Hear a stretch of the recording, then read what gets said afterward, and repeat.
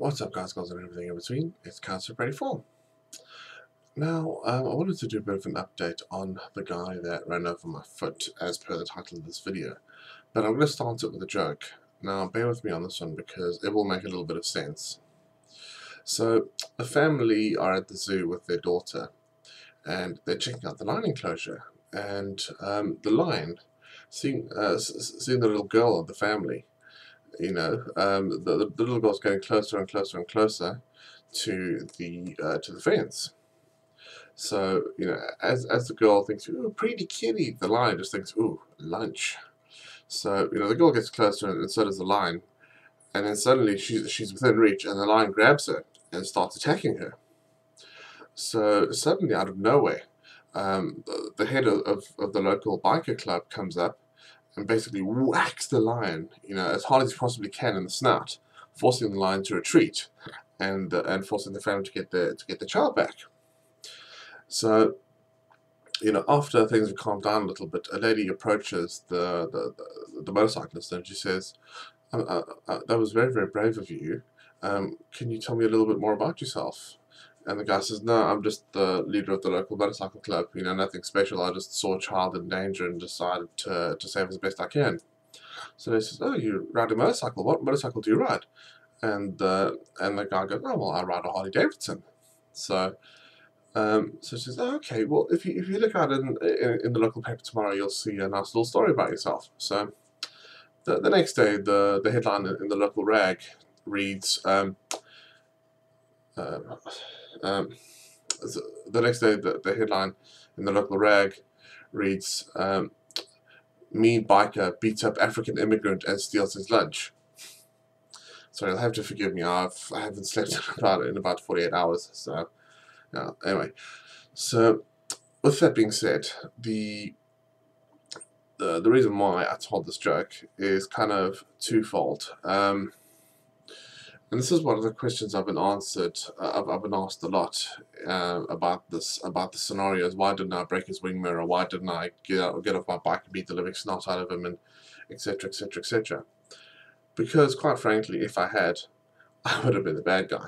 Uh, because let's let's be honest, if, if if you were approaching a scenario where a big mean biker was pulling a guy out of a car and beating the living shit out of him, you'd instantly think, "Oh, that guy, that big that big mean biker is just causing trouble." Hence the reason why I was so calm and why, you know, I just I just let it go.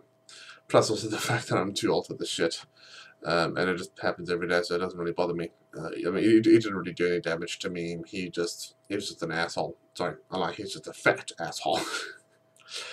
so, with that being said, um, with, with, with regards to the update, uh, basically it took me many, many phone calls to the police. It took me several complaints having been lodged about not even being updated. And eventually they've told me that um, they, they found the guy, they've spoken to him, he's apologized, and he's going to be fined for it. Now, during one of the phone calls, um, they did say that um, the, the officer that I spoke to basically what was seemed to be more offended by the fact that he went on this uh, on this massive tirade of abuse and yelling, and that um, and the fact that you know he, he could be done for a section 5 of the public order offence rather than using his car as a fucking weapon.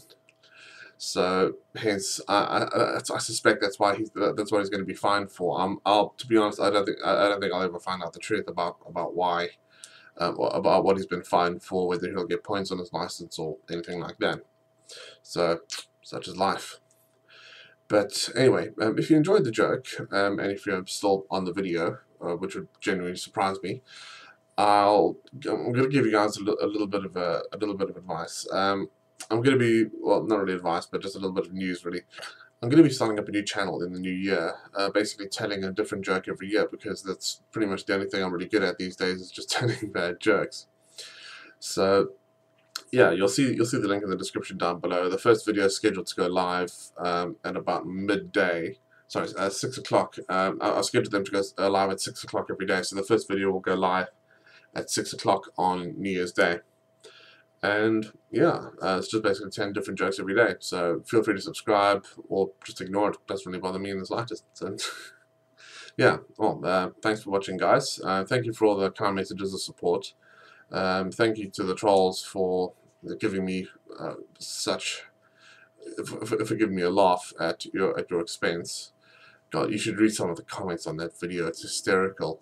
You know, some of these people just took serious offense to the fact that I could legally filter, but fuck it, I don't really care. Yeah, it's, it's trolls. They've got nothing better to do with their time. Anyway, folks, you have a good day. You ride safe and watch out for the crazies.